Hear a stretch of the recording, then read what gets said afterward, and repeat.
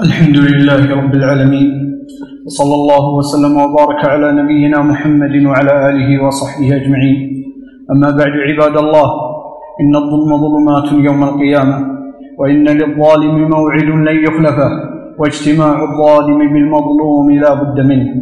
قد لا يستطيعك الظالم المظلوم اليوم ولكنه سيستطيعك غدا. بين يدي من لا يظلم عنده أحد. أرض المحشر عباد الله.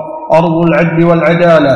قال تعالى اليوم تجزى كل نفس بما كسبت لا ظلم اليوم. بمعنى أن وقت الظلم انتهى وجاء وقت القصاص. لا يحسب الظالم عباد الله أن الله أمهله لأنه ذو مكانة عنده. ولكن الله حليم.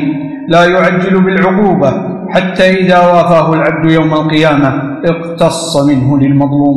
قال تعالى ولا تحسبن الله غافلا عما يعمل الظالمون إنما يؤخرهم ليوم تشخص فيه الأبصار مهطعين مقنعي رؤوسهم لا يرتد إليهم طرفهم وأفئدتهم هواء يؤخرهم الله لليوم الذي يهانون فيه ويخافون وتكون القلوب كالهواء لا أمان فيها ولا طمأنينة. أيها الناس إن فرح الظالم اليوم فرح موهوم ساعاته تنتهي سريعا ثم إلى حزن وخوف يتمنى يومها أنه ما كان ولم يكن.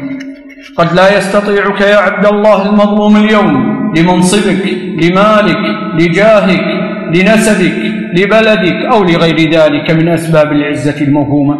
ولكن يوم القيامة ستقف بين يدي من لا نسب له مع أحد. من لا تنفع معه الأعذار المكذوبة ولا يقبل الواسطة ولا تستطيعه الدول والقبائل. لا أحد يستطيع في هذا الموقف أن يتدخل بينه وبين العباد. أتعلم أيها الظالم إلى من يشتكيك المظلوم إنه الله إنه العزيز إنه الملك القادر القدير إنه ذو العلو والجبروت.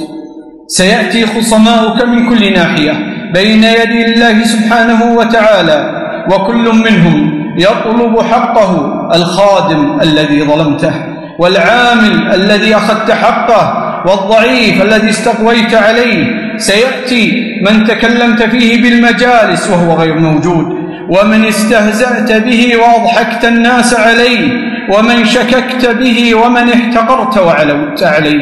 قال النبي صلى الله عليه وآله وسلم اتق دعوة المظلوم فإنها ليس بينها وبين الله حجاب.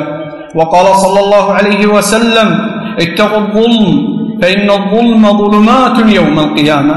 وقال عليه الصلاة والسلام ثلاثة لا ترد دعوتهم وذكر منهم المظلوم. عباد الله إن الله عز وجل في هذا اليوم يقتص من الجميع بعدله حتى من البهائم. يقتص من قويها لضعيفها. يقتص من الشاة القرناء للشاة الجلحاء. فكيف بابن آدم؟ وكم من إنسان في الدنيا له قرون ينطح الناس الناس بها. قرن المنصب وقرن المال وقرن الجاه وقرن النسب وقرن الدولة وقرن الملك وكل ذلك سيكون عليه يوم القيامة يوم القصاص يوم العدل يوم لا تظلم نفس شيئا. عمر بن الخطاب. عمر بن الخطاب أتعلمون من عمر؟ إذا ذكرت القوة فاذكروا عمر. وإذا ذكرت الشجاعة فاذكروا عمر. وإذا ذكر الملك والخلافة فاذكروا عمر.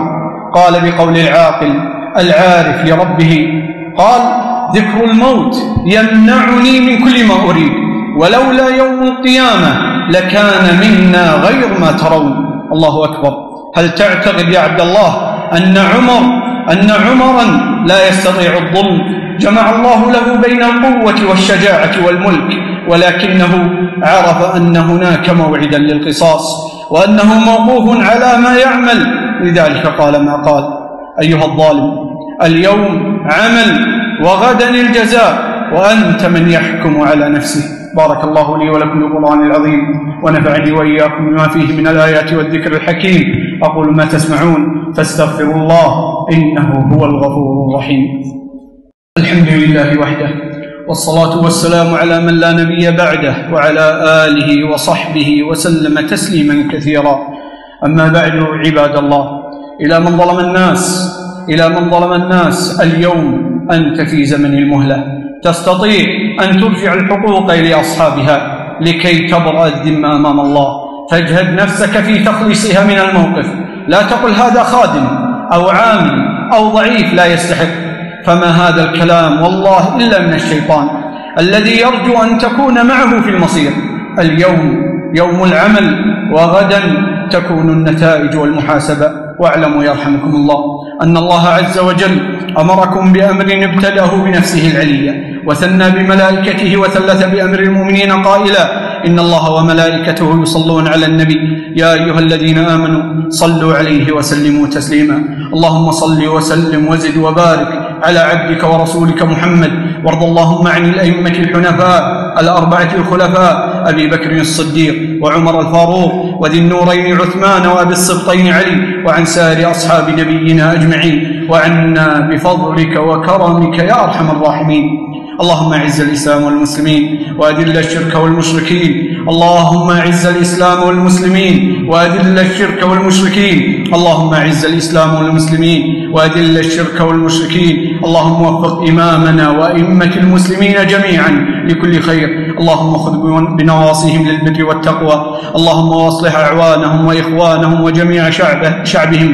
اللهم وفقهم لتطبيق شرعك في أرضك يا رب العالمين.